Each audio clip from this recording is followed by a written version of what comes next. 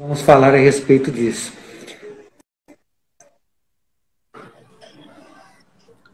Doutor Marcelo, seja bem-vindo, boa noite. Oi, Wilson, como vai? Um prazer estar contigo hoje aqui, tudo bem? Tudo bom? Prazer é meu, Marcelo, seja muito bem-vindo aqui. Primeiramente, muito obrigado pelo, por ter aceito o convite da gente poder bater esse papo aqui. Tá? É, o Marcelo, gente, para quem não conhece, depois ele vai falar mais.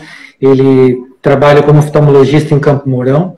É, conseguiu um destaque ali na cidade dele na região aqui de Maringá, e também está fazendo um trabalho muito legal com questão de cílios ultimamente, participando de congresso, sendo convidado, tenho acompanhado e fico muito feliz por esse seu é, resultado aí, Marcelo. E também mais feliz ainda que você está aí com a gente, dispondo do seu tempo para passar para a gente essas informações. Obrigado, Wilson. O que eu puder ser útil, vamos tentar ajudar um pouco o pessoal que está nos assistindo. Bacana. Eu estava comentando, enquanto você estava entrando aqui, né, que a parte estética ela tem ganhado bastante força nos últimos dias. É, principalmente agora nessa questão da pandemia, né, que tem ressaltado ainda mais aquilo que a gente já vê no dia a dia que a gente gosta tanto, né, que são os nossos olhos, né. As máscaras, elas têm feito o nosso olho aparecer de uma forma ainda mais importante. E aí entra a questão da parte estética dos cuidados e de algumas coisas que é, a gente vai falar também a respeito nessa live. Bom, é, Marcelo, fala um pouquinho de você aí, se apresenta para o pessoal que está chegando. Meu, eu sou, eu sou médico oftalmologista, né? Assim como você. Eu estou fazendo 20 anos de formado em medicina já, me formei ali pela Universidade Federal do Paraná. E depois eu fiz oftalmologia pela Universidade de Taubaté, no interior de São Paulo. Uh, depois eu fui fazer duas subespecializações, né? Para quem uh, não é da área médica, uh, é, para a gente tentar explicar, é como se fossem pequenas áreas dentro de uma grande área, né?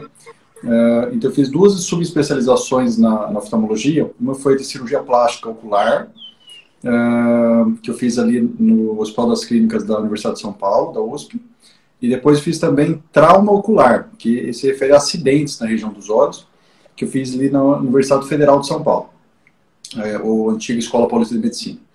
E na época eu trabalhei em São Paulo durante alguns anos, uh, tinha uma clínica lá em Sociedade, que é a Oftalmoclínica Paulista na época.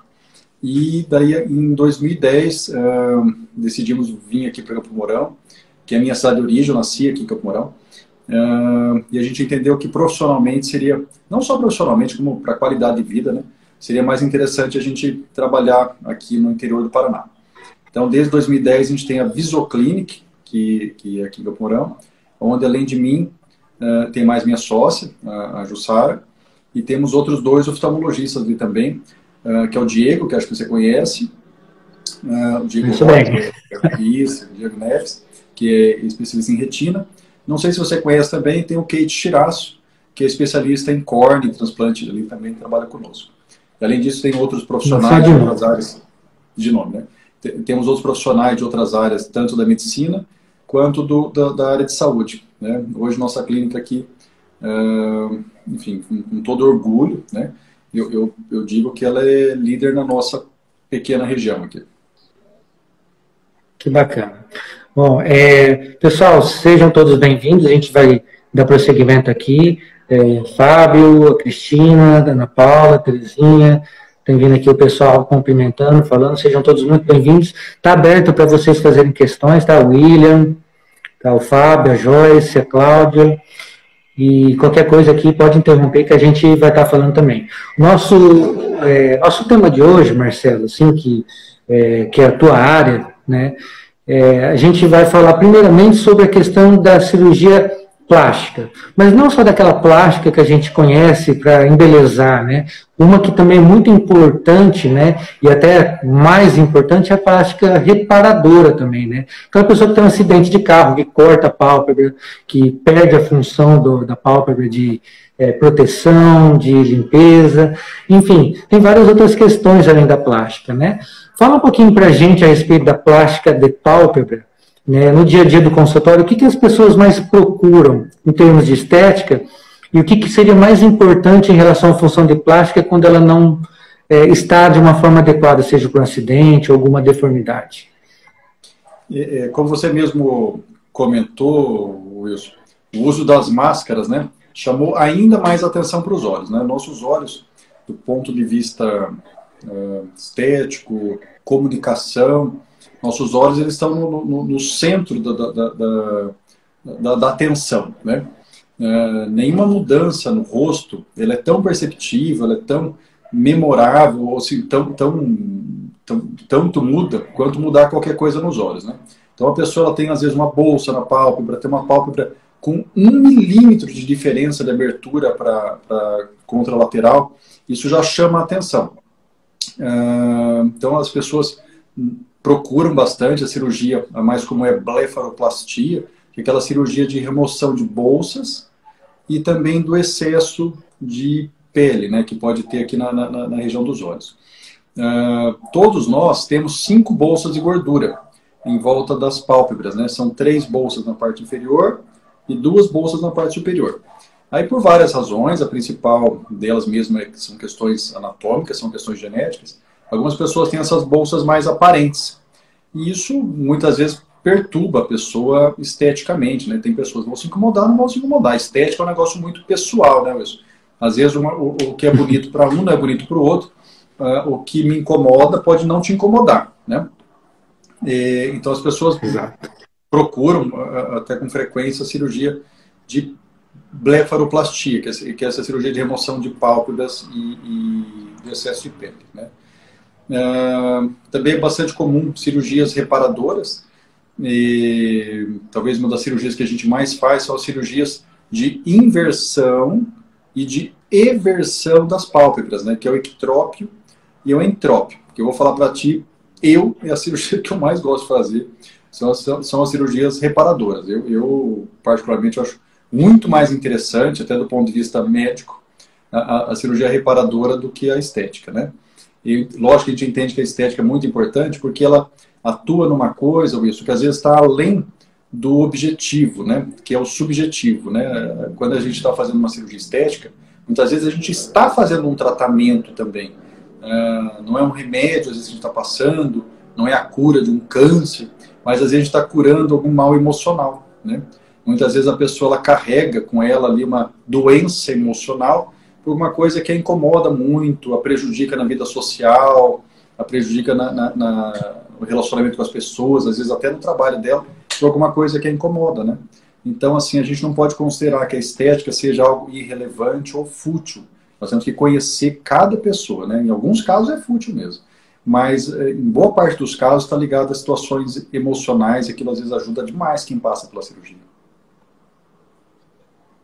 Bacana isso, né? É, a gente observa no dia a dia do consultório algumas pessoas que têm essa intenção da cirurgia plástica, e é exatamente isso como você falou. É tentar buscar nessa pessoa qual é a motivação, por que, que a pessoa está buscando esse procedimento, né? E muitas vezes ela às vezes também busca algo na cirurgia que talvez ela não encontre, né? Mas é importante sim, como disse a nossa colega que está assistindo, a Gisele, né? Ela falou assim, auxilia na autoestima, auxilia uma série de coisas aí que vão ajudar essa pessoa a se sentir melhor e curar outros males que não sejam os males físicos necessariamente, né, Marcelo? Muito bem colocado aí. Bom, é, dando prosseguimento, Marcelo, nós falamos também, né, é, nós podemos falar também de outras cirurgias. Nós vamos falar que entrou bastante é, pessoal que fala da questão do, do, extensão de cílios, né, da cirurgia, do, do, procedimento de extensão de cílios, né, que é uma coisa bem bacana. Inclusive eu vi que você teve no congresso semana passada, muito bacana.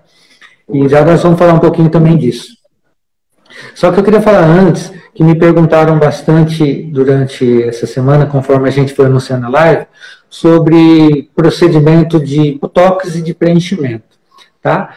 É, o procedimento de Botox, Marcelo, a principal dúvida é se é um procedimento seguro, se a pessoa que vai se submeter tem que tomar algum cuidado especial ou o profissional em questão que vai fazer. O que, que você pode dizer a respeito do Botox, principalmente na parte né, da pálpebra, então, da, da, dos olhos, aí, próximo aos olhos? Eu vou começar com uma curiosidade que talvez você mesmo saiba, Wilson. Uh, a, a descoberta do uso terapêutico da toxina botulínica, né, que, que é usado no Botox, foi feito por um oftalmologista, uh, Dr. Carruthers, no Canadá, uh, onde ele começou a pesquisar o uso de Botox para estrabismo. Estrabismo é quando a pessoa tem um olho torto, né? Então ele começou a usar o, o Botox como experiência, né, para pessoas uh, que tinham estrabismo. Só que o raio caiu bem no lugar certo. Acontece que a esposa do Carruthers era uma dermatologista a senhora doutora Carruthers, uh, ela falou, ela percebeu ali que na verdade podia ter outras utilidades, Botox, foi uma, bem mais esperta que ele, ele disse que atrás de todo grande homem tem uma grande mulher, né? Então ali ele estava é. tratando o estrabismo, ela viu que na verdade teria uma grande utilidade também na estética, né? Hoje o Botox é a fonte do ouro. Hã? Como é? Descobriu a fonte do ouro. Descobriu a fonte do ouro. Ah, hoje o Botox é utilizado em várias coisas, é usado para tratamento de enxaqueca, é para usado para os espasmos, aqueles piscares ah, incontroláveis, é, é, algumas vezes é usado até em fechamento de ferida, ah, mas o uso mais conhecido do Botox é o uso para as rugas, né? Inclusive eu apliquei faz poucos dias em mim aqui, ó. Tá até ficando bom já. é, é, é, é, então o Botox ele tem um uso principalmente aqui para mais conhecido para a parte estética, né? Uh, o Botox é uma medicação, Wilson, que eu considero assim de uma segurança fantástica. Não existe uh, na literatura pessoas que morreram, por exemplo, por aplicação do Botox. Né? Uh, existem algumas contraindicações de, de, de, se fazer o Botox. Por exemplo, quando a pessoa está com alguma ferida contaminada, está com alguma infecção aqui na, na, na região que vai ser aplicado, pessoas que ou tiveram herpes recentemente, uh, pessoas que estão usando alguns tipos de antibióticos que podem ter um, um efeito uh, colateral ali com o uso do Botox. E é, é, é, um uso aí que eu mesmo considero um pouco controverso, mas enfim, está na bula, uh, que é não fazer em gestantes. Né? Uh, por demais, o Botox ele é extremamente seguro, Wilson. Eu vou dizer uma coisa aí que talvez algumas pessoas aí que estejam nos assistindo vão querer achar isso diferente, mas enfim, cada um é, pode ter sua opinião e a gente pode conversar bastante a respeito disso, né? eu sou bastante aberto a, a discutir. Uh, hoje o uso do Botox ele é feito de maneira, na, na, minha opinião, indiscriminada por pessoas que não têm conhecimento anatômico adequado. Uh, aplicar Botox não é só enfiar a agulhinha ali no meio da, da ruga. É preciso ter um conhecimento técnico bastante grande, né, conhecimento científico muito grande, sobre a droga, sobre a medicação, sobre a anatomia do que, do, do que está sendo feito. E nós temos que lembrar uma coisa muito importante. É muito bonitinho aplicar Botox, cobrar o Botox, ganhar o lucro dele. Mas na hora que dá alguma coisa errada, aí fica facinho encaminhar para o amiguinho, né? Ah, olha, deu problema, não é comigo mais, né? Uh, quais seriam os problemas, né? Principalmente é, agir de maneira inadequada, né? Às vezes você bloquear uma musculatura que, uh, que, que, enfim, não precisava ser bloqueada, não podia ser bloqueada, e você vai ter um efeito de meses, né? Então, o que eu já atendi de pessoa com pálpebra caída depois da aplicação, e fica lá meses, lá meio de pirata, uh, sobrancelha caída, boca torta, enfim, uma série de, de, Aliás, já vi até olho torto, né? A gente falou que, que tratava estrabismo. Eu já vi pessoas ficarem estrábicas depois de uma aplicação mal feita, né? chegar no consultório com o olho torto por causa do botox mal aplicado.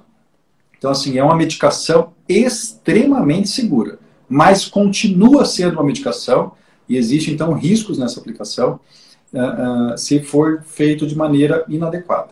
Outra coisa que às vezes alguns pacientes falam assim, ah, Botox uh, depois de seis meses tem que reaplicar, então é ruim Botox. Qual remédio você toma uma dose e dura seis meses? Só Botox. É, é, é, então, assim, o efeito do Botox, inclusive, é fantástico. Né? Durar meses, uma única aplicação, é muito bacana. Eu recomendo. Quem, quem, quem tiver interesse em fazer, né, e, e, tiver indicação de fazer, né, eu, eu de verdade acho que deve fazer. Uh, enfim, o cuidado com a estética, né, ele é, como a gente conversou ali na, na, na, outra pergunta, ele é muito subjetivo, né, como eu te disse, às vezes o que me incomoda não te incomoda e vice-versa. Mas a pessoa que, uh, uh, que se incomoda deve fazer. E nós sabemos que a gente vive em sociedade e muitas vezes a, a, a gente às vezes uh, tem algum tipo de inibição, algum tipo de receio, às vezes até por uma questão de aparência e que é uma coisa que pode ser resolvida muito facilmente ali com, com a aplicação, né? Então, quem ainda não, não, não fez, tem interesse em fazer, procura um bom profissional, com boa qualificação médica, para poder fazer a aplicação. Isso aí. É buscar saber informações direto com a pessoa que realiza, né? Buscar informações com quem já fez, isso é importante, né, Marcelo? Sim, Muito bem falado. Bom, é, a gente também poderia falar um pouquinho sobre a questão dos preenchimentos, que hoje também está bem é, em moda, né? Os preenchimentos com ácido hialurônico. Quase foi a palavra aqui. É, e uma pergunta que me fizeram, qual seria uma complicação que ela tem indicação, vamos dizer, estética, mas ela tem receio de fazer na região da glabela, né? O que, que você fala a respeito, Marcelo? Eu já vi duas complicações muito graves aí na glabela, né? Eu vi uma vez uma necrose, né? É, é, o paciente teve uma, uma aplicação ali mal feita, houve uh, uh, uma compressão muito grande, colocaram um volume extremamente grande, aí houve uma, uma compressão tecidual, uma compressão vascular ali, o paciente evoluiu com necrose nessa região, teve que fazer uh, uma, uma, cirurgia plástica, teve que fazer uma cirurgia reparadora ali, né? Uh, evoluiu com infecção, quase virou uma tragédia mesmo ali, enfim, na verdade podia ter evoluído até a morte, né? Uh, no fim ficou só com uma cicatriz horrorosa ali. Uh, mas também existe o risco, Wilson, de na aplicação ali haver a introdução do produto dentro da circulação da região aqui e isso, enfim, ir até o olho e provocar cegueira, né? Ah, então, assim, é, é uma região bastante perigosa de aplicar. Junto daqui da glabela, outra região que eu considero assim de um risco extremamente grande de aplicar isso é na região infraorbital, né, que muitas pessoas aplicam aqui embaixo também, né, com o objetivo de tentar melhorar a olheira. Mas também é uma região muito, muito perigosa de fazer aplicação. Sabe? É, é, eu, particularmente, não, não acho seguro fazer aplicação de, de ácido, ácido hialurônico, né? nem na glabela, nem na região aqui perorbital. Né? É, aí eu volto no que eu disse. Quem faz isso aí, acho que deveria saber solucionar os problemas que, que vêm de, de, de, alguma complicação também. Porque é bem isso, né? A maioria das pessoas que faz essa aplicação não tem a capacidade de solucionar o problema. Aí manda pro, pro coleguinha lá para pegar as complicações, né? Hoje, ainda bem, a gente quase não vê mais aplicação do PMMA, né, que era o que tinha antes do ácido hialurônico, né? Aí realmente tinha muito mais complicações, e não só na glabela, como outras regiões, né? Hoje, assim, eu quase não, não vejo mais pessoas chegar com PMMA, falar sobre aplicação de MMA, PMMA não vejo mais. Uh, ácido hialurônico, se bem aplicado, com uma boa técnica, é bastante seguro, né? tem uma durabilidade grande, pode variar muito de pessoa para pessoa, quantidade que foi aplicado, lugar que foi aplicado, mas em geral ele é bastante seguro e bem interessante para se aplicar aqui nessa região, né, que é o bigode chinês, e com muito cuidado, com muito, muita cautela, também na região da boca. Né? Acho que são as duas regiões mais, mais legais. Também dá para fazer algumas aplicações aqui em nariz, né? E no mento, né? Uh, aqui na região de, de mandíbula e queixo. Né? Essas regiões são regiões que têm um efeito legal. Legal, Marcelo. Vamos continuar aqui. Pessoal que está chegando aí, ó, fique à vontade para fazer perguntas, tá? É, nós vamos é, seguir um roteiro aqui, que algumas questões que já nos mandaram durante a semana, mas estamos abertos a responder também. Bom, é, a respeito também das, das pálpebras, como você estava dizendo, né? Também tem a questão da, da triquíase, de siquíase, né? Você falou do entrópio e do ectrópio, que é quando a pálpebra, na verdade, fica voltada para fora ou para dentro, prejudicando a função e às vezes até causando alguns danos no olho, dependendo de como ela está, né? Ou aberta, ou até com os cílios direcionados para dentro.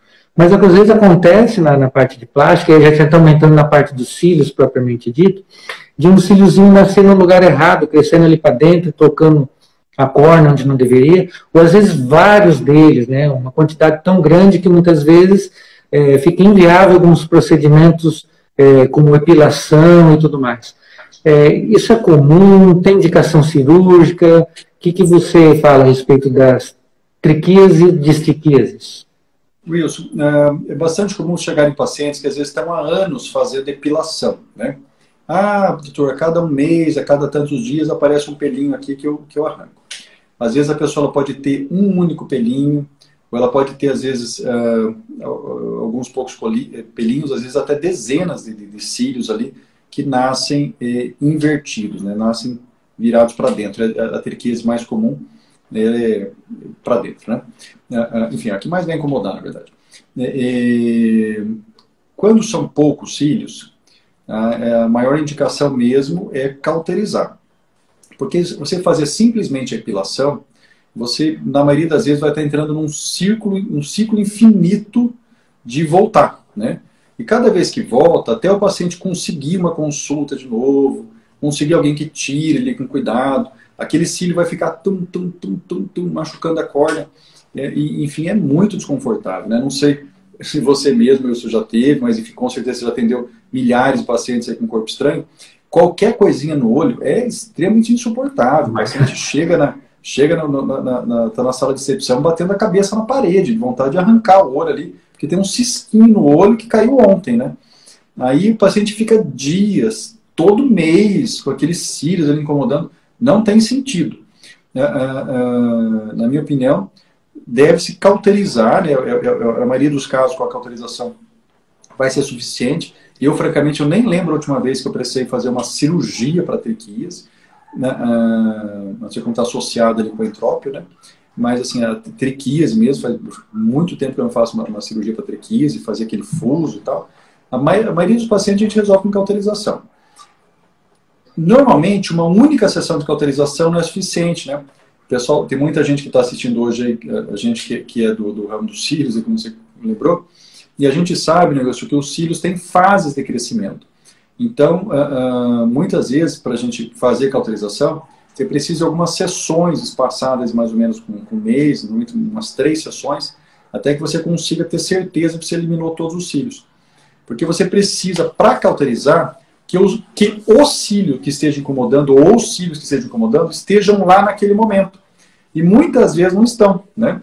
Ah, o paciente chega lá com dois cílios ali cutucando. Você vai lá e cauteriza dois. Aí passa alguns dias, aparece outros cílios. Ah, doutor, voltou o cílio. Dificilmente é o mesmo cílio. Dificilmente é, provavelmente é um outro cílio que não estava lá no dia da cauterização. Não tem, a, gente não vai, a gente não sai cauterizando a pálpebra inteira, tostando a pálpebra. Né? A cauterização é seletiva. A gente cauteriza cílio por cílio uh, que esteja incomodando. E é muito importante frisar que a cauterização, Wilson, via de regra, ela é definitiva. Uh, você faz a cauterização, você está, vou usar uma palavra aqui simples, né, você está tostando o folículo, que dá origem ao pelo. Uh, nós nascemos com uma quantidade X de pelos no, no nosso corpo, e nossos folículos não aumentam durante a vida. Né? A gente tem a mesma quantidade de folículos ou menos no decorrer da vida. Uh, você pode ter folículos ativos ou inativos, mas a quantidade de folículos não aumenta. Não sei por doença, né? mas assim, em condições normais não vai aumentar. E... Então, uma vez cauterizado aquele folículo, no mesmo local, bem cauterizado, no mesmo local não nasce mais o, o cílio. Então, a cauterização ela tem o efeito de ser curativa. Eventualmente, como eu estava comentando ali, você pode ter uma quantidade tão grande que às vezes é mais interessante fazer a cirurgia. Uh, na prática, eu só não sei como que é a frequência de você ver isso aí no, teu consultório. No nosso consultório, que isso é tão incomum, assim, é precisar de cirurgia. Quase sempre a gente resolve com duas ou três sessões de autorização, está resolvido. É, não é comum mesmo para cirurgia, não. É mais para epilação ou até mesmo para cauterização, como você falou. Uhum. Bom, Marcelo, é, eu queria ter uma curiosidade minha aí, né, na verdade, né? Você tem essa questão da, da plástica aí, que é da tua formação e tal, uhum. mas como começou a questão da extensão dos cílios aí, que me parece algo relativamente novo para você, né? Conta para mim aí como nasceu isso aí e a respeito de como está se tornando isso na sua vida agora. Isso, na verdade, assim, tem programação zero a respeito disso aí, né? Uh, eu acho que você deve receber isso também, acho que todos os oftalmos devem receber no, no, no, Brasil, uh, no mundo, uh, pacientes que chegam às vezes até inibidas, né? Ali às vezes no consultório, ah, estou com extensão, o doutor vai achar mal que eu estou com extensão. E, e, uma pergunta super frequente ali da, da, das pacientes era, ah, doutor, eu fiz a extensão, ou quero fazer a extensão, faz mal. Então eu sempre respondi ali no consultório, né? e um dia eu resolvi gravar um vídeo falando né, uh, sobre a extensão, e esse vídeo acabou por viralizar. Né? Na época ali, a, a, a maior parte da, das pessoas que me seguiram daqui de Campo Mourão mesmo, uh, então tinha algumas extensionistas que passaram para outros extensionistas e blá, blá, blá, né? Aí uh, isso acabou por viralizar, se espalhou por, por maior parte do país. Eu, sei que esses vídeos chegaram em Portugal, chegaram no México, chegaram em outros países da, da América Latina, chegou no Japão. Né, então, assim, acabou por ter uma, uma relevância bastante importante, né? O que a gente sabe, Wilson, né, que algumas, algumas pessoas têm complicações, né? Então faz aplicação e às vezes a pessoa tem uma alergia. Aí ela chega no consultório e algumas vezes algum colega, vou dizer com toda franqueza aqui, mal intencionado, querendo crescer em cima do caso, lasca um pau ali, às vezes, sem ter, hum, sem ter razão nenhuma, né? Só, só por motivo de se sair como eu sou bom, eu que vou resolver teu caso. Hum, como se nenhum colírio que ele passou, ele nunca passou um Glaube que deu alergia, né? né ele, eh, nunca passou uma brimonidina ali que deu alergia. Ó, quantas vezes isso já aconteceu? É, isso aconteceu comigo, tenho certeza que já aconteceu contigo, já aconteceu com todos os oftalmologistas desse Brasil que, que tratam glaucoma. Você passa ali, o paciente volta três semanas depois, ah, doutor, estou com alergia no meu olho. Ah, então, a culpa é minha, então, que o colírio de alergia. Alergia qualquer um pode ter, né? Só vai descobrir quando? Depois que você fez. Uhum. Não tem como você saber antes. Então, eventualmente, algumas pessoas têm alergia uh, e precisam uh, uh, fazer uma substituição de cola, uh, ou às vezes até interromper o uso ali da extensão, porque a pessoa às vezes não tem alternativa com a extensão para continuar fazendo, né? Uh, o que, que nós sabemos, né, Wilson? E, e como isso acabou tendo uma relevância muito grande para a minha vida, eu fiz questão de, de me aprofundar bastante, de estudar bastante isso mesmo, ler bastante coisas sobre, sobre os cílios, né? O que eu vou falar aqui não é novidade nenhuma para você, mas talvez seja novidade para algumas pessoas que estão nos assistindo. Os cílios, eles têm quatro funções principais. A primeira função do cílio, é, dos cílios é, é fazer a filtragem de impurezas. Né? As coisas que estão no ar, elas uh, vão parar nos cílios. Os cílios eles seriam uma proteção dos olhos. Então, em vez daquela sujeira vir para o olho, ela fica nos cílios. Essa é a primeira função. A segunda função, o cílio ele, ele diminui a evaporação da lágrima. Então, a posição dos cílios, o formato dos cílios, eles criam uma espécie de uma câmara úmida. Uh, essa câmara úmida uh, diminui a evaporação de lágrima para o ambiente. A terceira função dos cílios é, é, é, reflexa, né? Qualquer toque nos cílios, por mais leve que seja, a gente percebe. Então, às vezes, alguma coisa toca nos cílios, a gente tem um reflexo de se proteger. E a quarta função mais importante dos cílios é ajudar a selar os olhos durante o sono, né? Se ali com os olhos fechados, os, os cílios superiores encostados nos cílios inferiores, eles, eles aumentam ali a área de, de contato e diminui o risco de algum inseto, principalmente, entrar nos nossos olhos durante o sono. Aí, Wilson, não precisa ser nenhum gênio, né? Para falar uma, uma obviedade. Então, o que eu fiz foi só falar o óbvio, que é, se você tem cílios maiores, mais densos, é lógico que esses cílios estão fazendo um uma potencialização dessas funções. Se você tem ali uns cílios bem pequenininhos, tudo espalhadinho, uh, uh, eles estão fazendo a função de filtro, é só você comparar com uma vassoura na tua casa. Você tem uma vassoura ali tudo desdentada, ali, tudo faltando as fibras dela. Qual vassoura que, que varre melhor? A vassoura que está com todas as fibras dela ou aquela vassoura toda despenada? Então isso é muito lógico, né? Então se, se, se os cílios eles estão mais densos, mais compridos, logicamente estão filtrando maior. Em relação à evaporação, eu tenho comentado bastante com, com, com as extensionistas quando me perguntam, uh, é importante frisar que a curvatura da extensão ela tem que começar a partir de um terço do comprimento do olho. Uh, porque se ela for, se a curvatura for começar a partir de um terço, aí ao invés de melhorar a, a lubrificação, ela passa a piorar a lubrificação.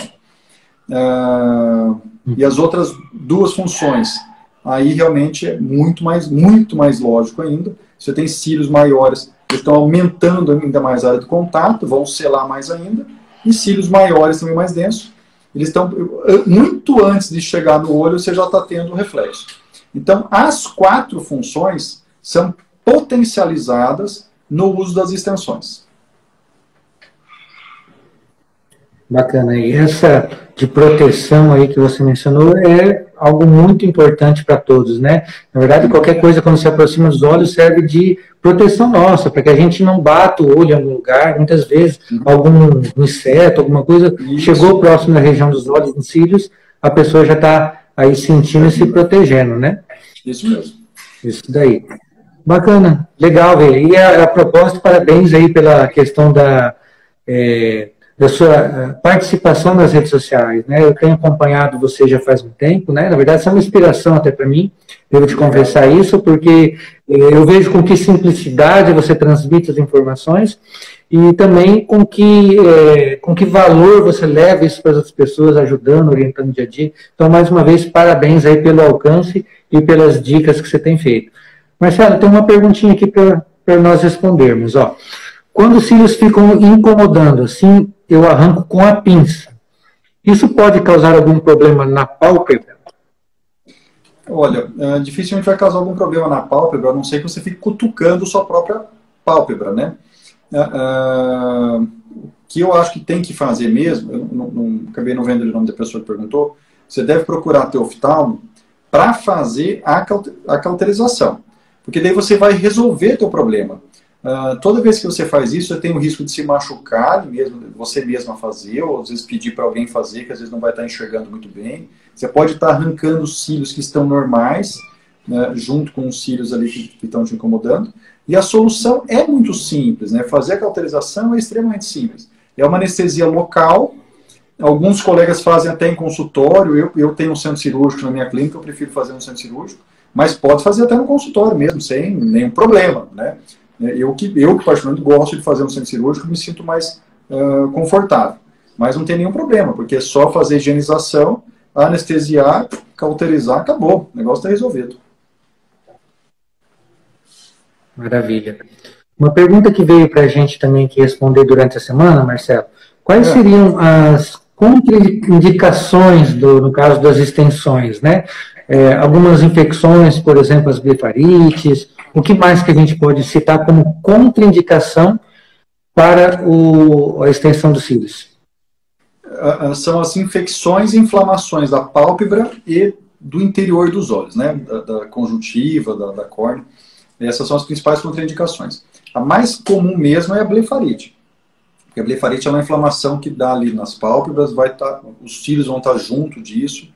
Muitas vezes, Wilson, a imensa maioria das vezes, a pessoa que tem blefarite, ela tem uma higiene palpebral muito pobre.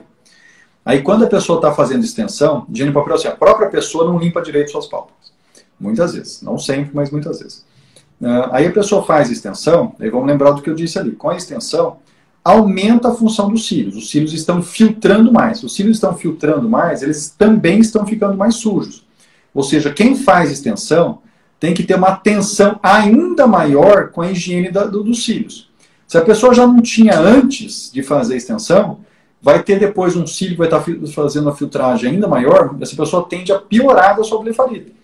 Uh, então eu sempre digo, não façam extensão com a, com a, com a, blefarite uh, ativa, né, assim, aguda, né, assim, muito atacada. A blefarite é mais uma condição do que uma doença, porque a pessoa tem blefarite, ela nunca vai curar da blefarite. Ela tem uh, uh, épocas que ela está melhor, épocas que ela está pior.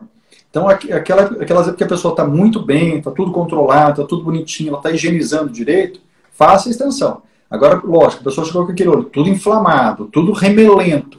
Acho que a pessoa que faz extensão nem vai querer ficar botando a pinça dela no olho ali cheio de pus, tudo remelento, né?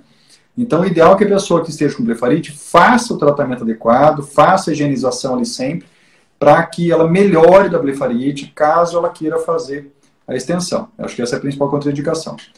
A segunda contraindicação, na verdade, ela vem da complicação mais comum, que é a reação alérgica. Uh, Wilson, dentro dessa área de extensão, a gente não encontra muitos trabalhos científicos, né? Ah, trabalho de complicações por uso de extensão. Não tem muita coisa. Mas, assim, de maneira empírica, observacional, a gente sabe que a, a, a complicação mais frequente é a alergia. E essa alergia, ela vem principalmente do pigmento da cola. Então, algumas pessoas têm alergia da cola. Aí vamos lembrar, alergia também não tem cura. Né? A alergia ela tem um controle ali no, no, processo alérgico, mas ela não tem uma cura. Aí tem, tem um caso aqui que aqui na clínica ficou uh, famoso. Tem uma, uma, uma paciente que chegou uma vez falando assim: ah, eu vim aqui, doutor, porque eu fiz extensão com quatro extensionistas, todas se dizem estrelas, todas estão boas, mas são todas péssimas, porque eu tive alergia com todas. Aí eu falei para ela assim, então a senhora não procure a quinta, porque a senhora também vai ter alergia com a quinta, com quem quer que seja. A, a, a alergia era da pessoa, né? Com, com quem ela fizesse, ela ia ter alergia. Uh, em alguns casos, existe alguma, a possibilidade de substituição da cola, em outros casos não tem, tem pessoa que vai ter alergia a tudo. Aí nesse caso, aí cabe a extensionista ali ver se tem alguma alternativa de, de fazer ou não. E, e, e sempre ver, uh, eu sempre digo para todas que me procuram ali, uh, nós temos um juramento médico, né, Wilson? A primeira frase do juramento é primum non non tire, né? Primeiramente, não cause mal. Se você sabe que uma coisa que você vai fazer vai dar problema, não faça, né? Não faça. Né? Então, primeiramente, não cause mal. É muito difícil, às vezes, né? às vezes quem está começando uma profissão, seja na área médica, seja em qualquer área, às vezes a gente aprender a dizer não para o cliente, né, Wilson? Uh, e às vezes a, a, única resposta que a gente tem que dar para o cliente é não. E esse paciente, às vezes, ele tem, às vezes tem paciente, cliente, ele pode ter às vezes uma dificuldade em entender que aquele não é bom, né? Só que a gente tem que saber dar o não e, lógico, dar esse não com carinho, acolhendo a pessoa, sendo, sendo ali empático com quem está recebendo não, que a pessoa não foi lá para receber o não, ela foi lá para receber um sim, né? E, mas muitas vezes o não é a única resposta uh, ética, né? a única resposta moral que a gente pode dar ali, a única resposta correta que a gente pode dar. Então, uh, como a gente às vezes dá na, na, na, na medicina, né, isso, dá na, oftalmologia, às vezes a gente fala um não para um, um paciente nosso, eu também digo para elas que elas têm que saber falar um não quando a pessoa não pode fazer. É, eu me lembrei agora você falando de um professor que falava assim: às vezes você aprende uma técnica cirúrgica em um mês, a indicação em um ano, mas demora 10 anos para saber quando não fazer, né? E às vezes dizer o não acaba sendo mais difícil realmente do que a própria técnica em si, né? Fantástico. É, mas sabe, teve, Teve uma. A Edilene perguntou uma coisa aqui que, na verdade, não tem muito a ver com a nossa live, mas eu vou aproveitar a pergunta dela e vou usar para tirar uma outra dúvida aqui que é comum em relação ao que a gente está falando. Ela falou para nós aqui, a Edilene, ela perguntou quais são os sintomas do glaucoma. Bom, pessoal, rapidamente, glaucoma é uma doença do nervo do olho, provocado principalmente pela pressão alta ocular. O maior problema da maioria dos glaucomas é que ele não dá sintoma. E às vezes a pessoa demora muito tempo para descobrir. Por isso que é importante a consulta preventiva, onde se vê não só a pressão, mas o fundo do olho, para diagnosticar precocemente e começar o tratamento. Então, respondendo a pergunta dela, geralmente não dá sintoma, principalmente em estágios iniciais. Mas, falando em glaucoma, existe um colírio que muita gente às vezes chega, não sei se chegou para você, acredito que sim, mas para mim já chegaram perguntando, doutor, eu quero aquele colírio que faz crescer os cílios, é, que é do glaucoma. Né? E eu sei também que já existem alguns produtos da parte estética, né, da, da indústria cosmética já, que foram para esse lado aí. O que, que você pode dizer desse colírio aí em si, Marcelo? Só vou fazer um parênteses aqui, Wilson, no que você disse, que é fantástica a tua, tua explicação do glaucoma. Eu sempre tento reforçar para pra, as pessoas que a consulta não é dos óculos, a consulta é dos olhos, né? Então você não faz uma consulta Perfeito. porque o óculos riscou, porque o óculos estragou, porque o óculos perdeu. Você tem que se preocupar com teus olhos e não se preocupar com teus óculos.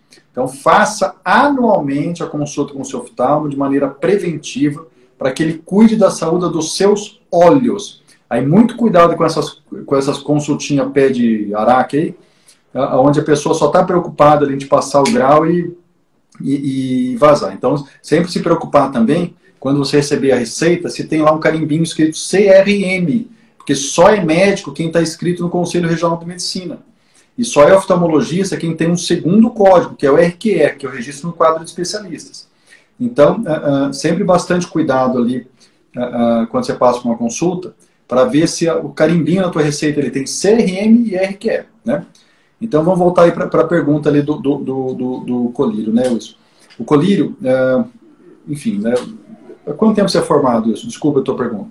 Desculpa perguntar. Há quanto tempo você é oftalmologista? Quanto tempo eu estou formado? Oftalmologista. Eu sou oftalmologista desde 2000, há 10 anos. 10 anos. Quando foi lançado o Lumigan, que é um colírio da Allergan, uh, uh, eu estava na residência durante o lançamento dele. Isso faz Vou falar bem baixinho aqui, isso faz 18 anos. É, ninguém ouviu. Aí eu estava lá na, na, na, residência quando foi lançado. Aí na época chegaram, chegavam os representantes dos outros laboratórios e falavam assim: ah, esse colírio não presta, porque esse colírio ele faz os cílios crescerem, não sei o que. Não, né? Só que acontece que a Allergan, que é o fabricante do Lumigan, é o mesmo fabricante do Botox. A Allergan tem uma área de estética, né, cosmética ali própria muito forte. Então eles pegaram o Lumigan, que é a base dele é bimatoprosta, trocaram de nome, colocaram o nome de Latice, triplicaram o preço, fizeram uma embalagem mais bonitinha, triplicaram o preço e começaram a vender como Latice para crescimento dos cílios. E ele, e, e, e ele tem uma autorização sanitária para isso. Né? Ele tem um registro na Anvisa com essa finalidade. E ele realmente funciona. Então, quem, e funciona em praticamente 100% dos casos. Né? Então, assim, o uso do, do da bimatoprosta ali na, na, no cílios, na verdade não é nos cílios, né, Wilson? Vamos até falar melhor. É em qualquer pelo do corpo. A, a aplicação da bimatoprosta em qualquer pelo do corpo faz com que esse pelo cresça mais, ele fica mais comprido, fica mais escuro e fica mais grosso. Aí nós temos que alertar para esse muito importante esse mais escuro, porque aonde esse colírio cai, esse, essa substância cai, ela pigmenta. Então às vezes a pessoa usa ele de maneira inadequada e começa a ficar pigmentado toda a pálpebra e aí uma tragédia, enfim, né, cada um cada um, né? Uma tragédia que pode acontecer são as pessoas que têm as íris com poucos pigmentos, né? As pessoas que têm olhos azuis, olhos verdes, podem acabar ficando de olho castanho sem querer, né? Então, às vezes a pessoa está usando ali a bimatoprosta, né, e a gente sabe que isso pode usar quando está tratando o glaucoma, né? Ah, ah, pode haver uma pigmentação da íris. Então, você pode ah, ah passar de, um olho azul, de um olho verde, ou desses tons, para olhos mais castanhos. Então, assim, ele tem um efeito extremamente fantástico na, na no crescimento do, do, dos cílios, mas, uh, mas ele tem esses efeitos colaterais aí. Uh, eu, particularmente, acabo não indicando esse uso, né? Até porque muitas vezes a pessoa ela vai ter uh, outras complicações no próprio olho, as pessoas têm que fazer é uma aplicação de uma medicação diária, né, Wilson? E, e, daí, assim, como é a própria pessoa que aplica, os riscos de complicação, de uso, acabam sendo maiores. Ah, então é, é, possível, é uma boa medicação, ela tem esse efeito positivo, mas pode provocar. A Beth está perguntando, pode provocar olheira sim, Beth, porque fica pigmentado, né? o nome bem isso, ele pode manchar onde ele cai. Onde ele fica ali em contato, ele pode provocar tipo uma olheira mesmo, fica escuro. É, e também tem a questão do seguinte, é, o, a, a prostaglandina, que é o princípio ativo né, de, do colírio que você mencionou, ele também precipita a reação inflamatória, ele predispõe, ele ajuda em algumas reações inflamatórias. Então tem gente que fica com o olho bem vermelho. Tá? É um efeito colateral para algumas pessoas também. Então tem a indicação, né? No caso do glaucoma, é um dos colírios que melhor funcionam em determinados tipos de glaucoma. mas com esse efeito colateral que muitas vezes é atraente para quem está buscando algo estético aí, né, Marcelo? Tem que ter os cuidados ali e não é para esta finalidade. Embora tenha um produto que seja ali, mas também tem efeitos colaterais. Né? Isso. Ele está liberado, é... ele é um produto registrado na Anvisa com essa finalidade, né? Mas assim, eu, eu, eu acredito assim que os efeitos colaterais possíveis e muito frequentes isso aí, eu acho que assim que acaba contraindicando a maioria dos casos, né? Com toda franqueza, eu acho que a extensão é bem mais segura do que o uso do, do da bimatoprosta para essa finalidade. Exatamente. O Zé Augusto é um colega estudante de medicina lá de Colorado, ele está assistindo a live aqui. Estava falando com ele esses dias lá, sobre oftalmologia e tal, ele esteve lá no consultório, e ele falou que se essa live continuar, ele vai fazer oftalmo também. Olha, bem-vindo. Qualquer coisa, já tem onde até trabalhar lá, porque é gente boa, viu, Marcelo? Ah, legal. Olha só, a Luciana ela perguntou se a cliente teve uma irritação, ela pode fazer o que o que ela pode fazer para aliviar? E depois ela também perguntou: quem tem glaucoma não pode fazer extensão de cílios? É, essa do glaucoma eu vou, vou, responder primeiro porque eu vou só resumir essa, essa resposta. Essa do glaucoma, eu até demorei para entender como isso aconteceu. Eu conversei com, com, com algumas famosas extensionistas para tentar entender quando que nasceu esse mito. Na verdade, não tem contraindicação uh, ter glaucoma e fazer extensão. Isso aconteceu porque no começo das extensões, que foram mais ou menos meia década atrás, o que as, a maioria das pessoas usava era a, o próprio bimatoprosta.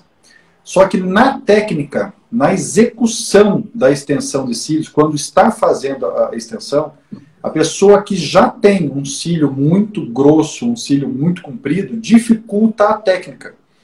Né? Então a contraindicação era para quem usava o latice. Tá? Então não é uma contraindicação do glaucoma para fazer extensão. Aí ela perguntou de irritação, né? Quando acontece a irritação, tem que, logicamente, tem que identificar o que causou a irritação. Se foi ali durante a extensão, a causa mais comum disso é, é, aquele, é o fumê, né, que é, chamado, é aquele vaporzinho que sai ali uh, na hora que está colocando adesivo, está fazendo a extensão tem, tem ali aquele vaporzinho que sai. Então isso às vezes provoca uma irritação, porque tem algumas pessoas, né, Wilson, que ao fechar as pálpebras, não tem um fechamento completo. Algumas pessoas têm o que a gente chama de piscar incompleto, e tem um fechamento incompleto as pálpebras. Tem algumas pessoas que dormem de olho bem aberto. Durante a extensão a pessoa tem que ficar com o olho fechado, mas tem algumas pessoas que não ficam com o olho totalmente fechado, ou ficam batendo papo, ficam abrindo o olho, ficam mexendo o olho. Isso às vezes acaba irritando por dentro. O ideal é sempre tentar orientar o máximo a pessoa a ficar com o máximo de olho fechado durante a extensão, Tomar muito cuidado para não, não, não, não, cair nada dentro do olho durante, durante, o procedimento, né? E se no fim ali do, do, do, da, da extensão perceber que está com o olho meio irritado, veja se a pessoa não está com dor, porque se a pessoa estiver com dor, o ideal é que ela vá procurar um oftalmo, para ver se não teve algum machucado, né? Mas se for uma irritaçãozinha leve, fa experimente fazer uma compressa gelada. Pega uma toalhinha, põe água gelada, deixa sobre os olhos ali um, dois minutinhos. Se for uma irritação leve, só do vaporzinho, Normalmente isso já vai resolver. Aí você fez ali a, a, a compressa, continua com a irritação, piorou, começou a inchar, começou a acontecer alguma coisa que você não tem como resolver, encaminha para um oftalmo para que ele possa dar, dar o atendimento mais rápido possível. Beleza. Pessoal que está chegando agora, essa live ela vai ficar salva no meu Instagram, também vou compartilhar com o Dr. Marcelo, caso ele queira colocar é, no, no, Instagram dele, né? E também vai ter na minha página do YouTube. Ah, tá? É, Dr. Wilson de Martini no YouTube também tem lá. É uma página nova, estou criando agora, e a minha intenção é colocar essa live inteira e dividir em partes lá também, para ficar mais fácil. Às vezes o pessoal não tem o tempo de assistir a live inteira, né? Vai assistir por pedacinhos. Fica o convite aí para vocês. Quem segue o Marcelo, que com certeza é a maioria dos que estão aqui hoje, eu convido a me seguir também. Todas as quartas a gente tem uma live. E, e essa quarta-feira a gente está tendo o prazer de conversar aqui com o Marcelo. Tá? É, Marcelo, nós estamos caminhando finalmente, né? Uhum. a gente comentou se é da meia hora, não, acabou quase é, que chegando aí na uma hora que o Instagram nos permite, né? De tão bacana que é pra gente que gosta do assunto, né? Acabou de entrar ali na. Quer dizer, não sei se entrou agora, mas fez um comentário agora ali. A Jennifer Vieira, a Jennifer é lá de Brasília, e ela é uma da, das organizadoras do, do próximo evento de extensão que eu vou participar, que é o Meeting Lashes 2.0 quem está eh, assistindo a live aí, e tiver a oportunidade, eu vou fazer uma palestra lá no Meeting Lashes com vários outros palestrantes fantásticos, Wilson. Eu vou te dizer uma coisa aqui, Wilson, que eu faço questão de dizer. Wilson, se um dia você tiver oportunidade, Wilson, de verdade, vou falar com todo carinho, se tiver oportunidade de você, pelo menos, ir assistir um congresso delas, Wilson, você vai chorar de ter que voltar num congresso médico. Porque é uma alegria, Wilson. É, nossa, é uma qualidade. Não, olha, Wilson, se você vê como. É, eu vou falar essas meninas, porque quase sempre são, são mulheres fazendo ali as, as palestras, né? Elas falam com uma propriedade, elas têm uma oratória fantástica, elas têm um domínio de público, isso, que, olha, a gente está acostumado a morrer de congressos. É uma vibe que não tem, assim, explicação. Não tem explicação, de verdade. Então, assim, eu quero convidar aí quem está assistindo e ainda não está inscrito, se inscrever aí no, no Meeting Lash 2.0, que vai ter em Brasília. Tá o Will comentando aí também. O Will vai estar tá lá. O Will é fantástico palestrante. O Will, acho que é só eu e você lá que vamos de homem lá no, no palestrar lá, né? Vamos estar cercados lá por belíssimas oradoras lá. Belíssimas tanto na oratória quanto na beleza, né? Eu confesso que eu fiquei com uma invejinha vendo você lá participando no meio de tanta gente bacana lá e bonita assim. Quem sabe uma oportunidade eu vou também. Hã? Não ouvi. Travou. Rita lá comigo lá, né? pois é, rapaz. Que coisa mais linda, né? Chique no último. É, Pessoal, nós estamos caminhando finalmente aqui das lives. Uhum. Nós estamos caminhando aqui para o finalmente né, da nossa conversa. Nós falamos de cirurgia plástica como um todo, da parte de pálpebras, né, de, da parte ocular. Nós falamos aqui no final sobre cílios, extensão, complicações, funções das extensões de cílio. Tá? É, vai estar disponível para salvar, tá? É, pra, vai estar salvo, disponível para vocês verem outra oportunidade, marcarem as pessoas que não puderam assistir hoje. Tá? E, Marcelo, eu gostaria só de agradecer, né? Acho que você se pôr seu tempo aí para participar e é, realmente é um prazer para a gente aqui. E colocar à disposição, caso você queira fazer alguma finalização, algum comentário, estou à disposição. Isso, eu só tenho a agradecer a oportunidade, né? Fantástico. Eu tenho visto aí, eh, eh, realmente assim, ter uso cada vez maior da rede. Só, olha, só, só posso te incentivar. Faça esse uso mesmo. Sempre vai ter um, um coleguinha invejosinho ali que vai falar, oh, Wilson, não faz isso, não faz aquilo. Se você vir meus primeiros vídeos, eu tenho até vergonha de ver, mas eu mantenho cada um desses vídeos que eu tenho lá, porque assim é interessante e eu gosto de ver, né? Eu vou dizer com todo carinho para ver meu crescimento e maneira de saber me expressar ali dentro da rede, né? Então, mesmo aqueles videozinhos que você tem mais vergonha, mantenha eles lá, porque você sempre vai aprender um pouquinho mais. E eu continuo passando minhas vergonhas aqui, mas estou muito feliz com isso e isso é, realmente traz assim um resultado, aproxima a gente das pessoas, e as pessoas ah, ah, passam a, no meio das baboseiras que a gente às vezes posta, às vezes a gente tem a oportunidade de trazer um pouquinho de conhecimento também. Tá. Isso que é legal, né? De uma forma descontraída, como eu já disse, você consegue passar informação, é, ficar próximo do, do pessoal que te é, acompanha, que são seus pacientes, são seus amigos, e eu confesso para você, como eu já disse, que eu me inspiro em você. Parabéns mais uma vez. Pessoal, desculpa a gente não conseguir responder a pergunta de algumas pessoas. Se vocês quiserem depois na live, deixa a pergunta ali, que depois eu ou o Marcelo a gente tenta responder, né? É, a maioria delas vai ser diretamente para o Marcelo, mas eu direciono para ele, porque ele é especialista dessa parte. Eu só sou um oftalmologista geral com curiosidade nessa parte que cada vez também está me fascinando mais, tá bom? Gente, Marcelo, boa noite, fiquem com Deus. Até quarta-feira que vem, pessoal, como eu disse, a gente faz lives toda quarta-feira. Quarta-feira que vem vai ser sobre idosos. Nós vamos falar sobre mudanças importantes na vida do idoso. Entre elas, as mudanças de visão, que podem ter muita interferência na vida dessa pessoa. Né? É, muda o dia a dia, perde o direito de dirigir muitas vezes porque não tem uma visão legal. Então tem muita coisa legal. Nossa convidada vai ser a doutora Jéssica, psiquiatra, psiquiatra, que tem uma formação fantástica nessa parte aí para poder nos orientar também. Tá bom? Marcelo, muito obrigado. Fique com Deus. Valeu, Wilson. E até a próxima. Tchau, tchau. Obrigado para vocês também. Até mais.